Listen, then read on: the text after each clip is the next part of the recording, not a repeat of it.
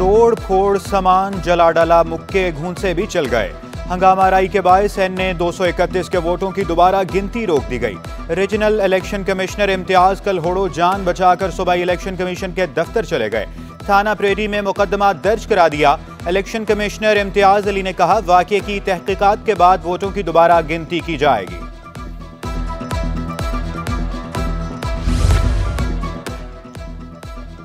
वोटों की दोबारा गिनती पर हंगामा रही इलेक्शन कमीशन ऑफ़ पाकिस्तान ने नोटिस ले लिया। इलेक्शन कमीशन सिंध से फौरी रिपोर्ट तलब कर ली। चीफ सेक्रेटरी और आईजी सिंध को हंगामा राई में मुलविस अफराद के खिलाफ फौरी कार्रवाई की हिदायत। पुलिस और दीगर इदारों की जानब से तहकीकत का आगाज़।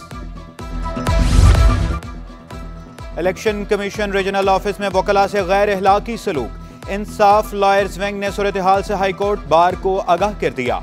बार एसोसिएशन की वकला के तहफ़ की यकीन दहानी। जामिया कराची तलबा का एहतजाज का दायरा कार वसी करने का ऐलान। एडमिन ब्लॉक के सामने एहतजाजी मुजाहरा। वाइस चांसलर की बरतरफी का भी मुतालबा। इंतजामिया को दो रोज की डेडलाइन दे दी।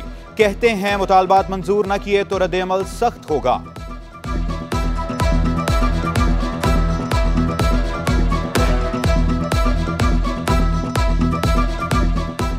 सूरत हाल के लिए तैयार हैं और अमन अमान की हमने पहले भी कहा और अब भी कह रहे हैं कि ज़िम्मेदारी सिंध हुकूमत पर और इंतज़ामिया पर यूनिवर्सिटी इंतज़ामिया पर। हम अपने मुतालबात मनवा कर इस जगह से उठेंगे, हम अपने मुतालबात मनवा कर इस मुहिम को ख़त्म करेंगे। मुतालबात के हसूल तक चुप नहीं बैठेंगे। एन आई सी एच के डॉक्टर्स डट गए, आज दूसरे रोज भी ओ पी डी का मुकम्मल बाइकआउट मरीज़ बच्चों के वालदेन परेशान, डॉक्टरों का इंसाफ मिलने तक एहतजाज जारी रखने का ऐलान।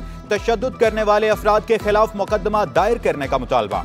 जनरल सेक्रेटरी वाइडीए बोले, आए रोज डॉक्टरों को तशद का निशाना बनाया जाता है। अब मुतालबात से पीछे नहीं हटेंगे, कल तक मुतालबात पूरे ना हुए तो दीगर शोबों का भी बाइकआउट कर देंगे।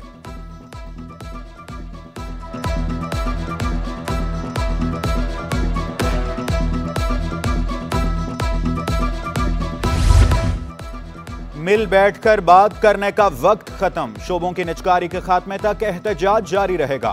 मुलाजमीन के वाजबात की अदायगी का भी मुतालबा। महकमा पानी और सफ़ाई की सौदाकार यूनियन का इंतजामिया पर अदम एतमाद। चेयरमैन मुतहदा वर्कर्स इरशाद खान बोले, मुतालबात मंजूर न हुए तो डिस्ट्रिक्ट सतह पर अलामती हड़ताल भी करेंगे। शहर कायद में कहीं हल्की, कहीं तेज बारिश। गुलशन इकबाल, राशिद मिनहास रोड और गुलशन जोहर में तेज बारिश। स्टेडियम रोड और अंगी काली पहाड़ी, मलीर में भी बरसात, मौसम खुशगवार। शहरियों के चेहरे खिल उठे। महँगाई के सताए आवाम के लिए खुशखबरी, बिजली की कीमतें कम होने का इम्कान।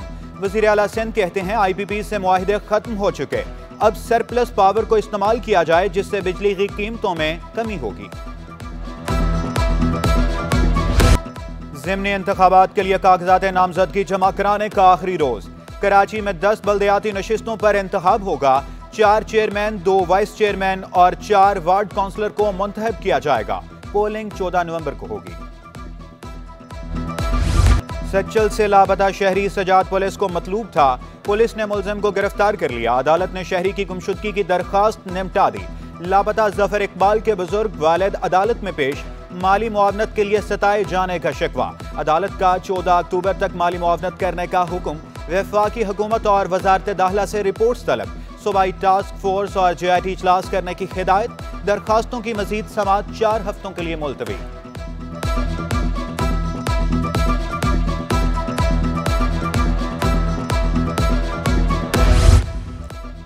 कब्जा माफिया का नाजिमाबाद में महकमा औकाफ के प्लाट पर कब्जे का इंकशाफ। महकमा औकाफ के प्लाट पर बिल्डर की जानब से अमारत तामीर करने में भी इल्ज़ाम। महकमा अवकाफ सिंध का नोटिस तीन रुकनी तहकीकती कमेटी कायम कर दी गई। स्पेशल सेक्रेटरी खादिम हुसैन चन्ना कमेटी सरबराह मुकर कमेटी पंद्रह रोज में तहकीकत मुकम्मल करके रिकॉर्ड फराहम करेगी।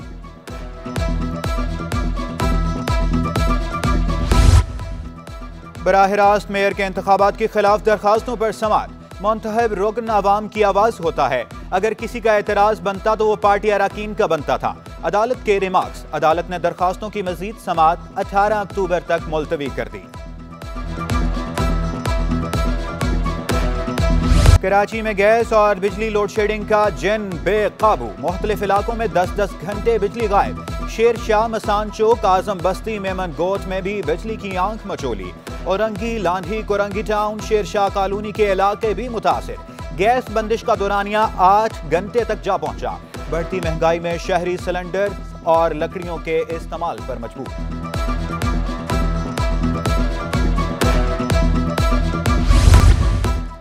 पानी, सेहत, तालीम, बिजली समेत दीगर तरक्याती मनसूबों पर फोकस है।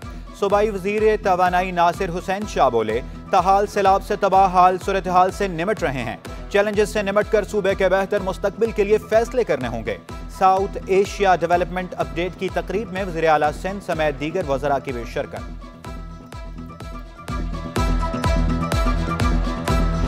फ्लोर मिल्स मालकान की मनमानियाँ, सात रोज में आटा पचास से एक सौ रुपए फ़ी किलो महँगा कर दिया। पाँच किलो आटे का थैला पचास रुपए महँगा, छह सौ रुपए का हो गया। कंपनियों के आटे का दस किलो का थैला एक सौ रुपए महँगा। बारह सौ रुपए में फरोख्त शहरियों की कीमतें कम करने की अपील।